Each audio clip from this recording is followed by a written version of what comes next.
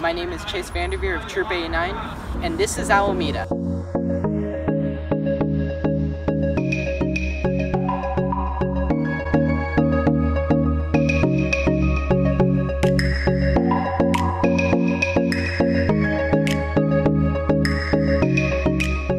Alameda, originally a 2,200 acre peninsula inhabited by the Miwok Indians for over 3,500 years. Now a densely populated town home to 78,000 residents. In 1820, a Mexican soldier by the name of Luis Peralta received a 35 acre land grant for his dedicated service to the Mexican military. The grant comprised of portions of the cities now known as El Cerrito, Berkeley, Albany, Oakland, Piedmont, and Alameda. After Luis's death, the land grant was split up among his four surviving sons. Much of Oakland and Alameda was allotted to Antonio Maria Peralta. Alameda was then split up into three communities Old Alameda, the Encinal on lands adjacent, located along the estuary which was previously known as San Antonio Creek, and finally Woodstock, located on the west end. After the unification of the three communities, the name Alameda was decided by the residents, because the word Alameda translated into Spanish means tree lined avenue.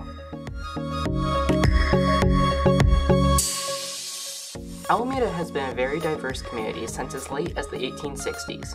After the three communities of Alameda were united, Alameda became home to immigrants from Italy, Spain, China, Japan, Portugal, Germany, and Scandinavia. Now, Alameda is still as diverse as it was in the 1800s. Currently, Alameda is comprised of 43% white, 11% Hispanic, 7.7% African American, 30.9% Asian, 6% mixed, and 1.4% other as of 2018.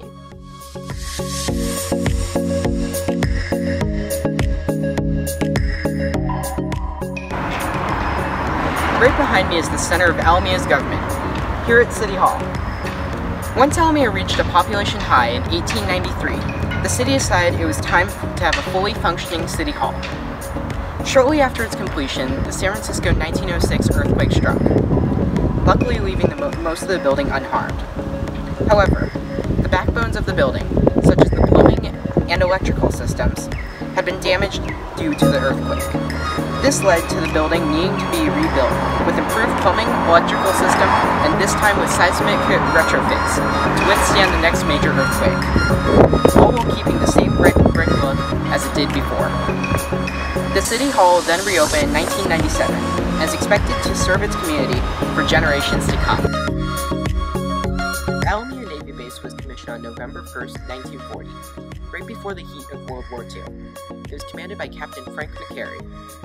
The city of Alameda saw a possibility for a naval base on the west end of the island, which led to Congress authorizing President Franklin Roosevelt to accept the Alameda Point for the price of $1. The base was a busy little city with all kinds of military personnel, ships, and aircraft moving around the base at all times. Several ships, such as the USS Ranger, the USS Midway, the USS Coral Sea, and the USS Hancock, called Alameda their home. Other famous ships also made an appearance in Alameda, such as the largest ship in the fleet, the USS Enterprise, and the ship currently stationed on the base as a monument, USS Hornet. Many of the long-standing residents of Alameda can remember the golden days of the base. Now located on the base, there is a Naval Air Station Museum, and a second museum located upon the USS Hornet. The Alameda Museum, situated on Alameda Avenue, down the street from the entrance of Alameda High School, is a living history of Alameda.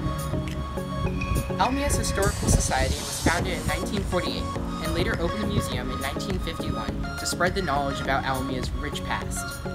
At this establishment, there are exhibitions about the original Miwok Indians that inhabited Alameda, the fire department, the police department, Neptune Beach, and old model ships and toys from the naval base times.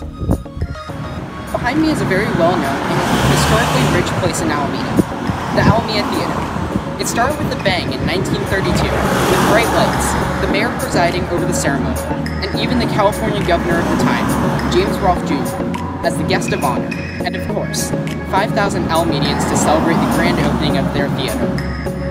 The theater was opened with 32,000 square feet and over 2,200 seats, and featured one of the largest screens of its time.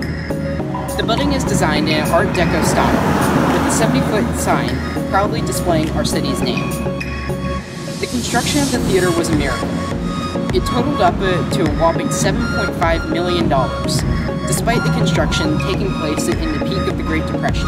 The South Shore Shopping Center and and Park Street are two of the most popular places in Alameda to eat, drink, and play. At these two spots, you'll find everything from clothing shops to local Alameda restaurants to bike shops. Here you can find something for all ages to enjoy. You can also find some of Alameda's most famous buildings and businesses, like Tucker's Ice Cream, the Alameda Theater, and the old Alameda Post Office.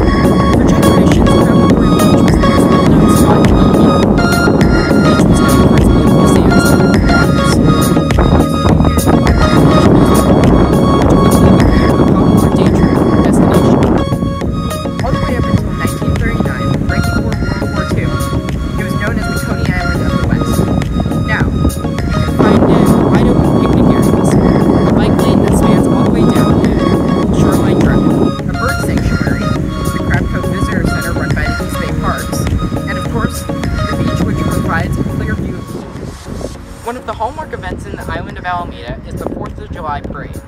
This hometown celebration comprises of many local businesses, ethnic groups, clubs, Coast Guard detachments, and schools from the island of Alameda. The parade route is the longest in the United States, spanning 3.3 miles with over 170 entries, 2,500 participants, and 60,000 spectators each year. The parade is preceded by a 5K benefit, walk, and run race, with over 1,000 participants each year. The citizens of Alameda look forward to having it for generations to come.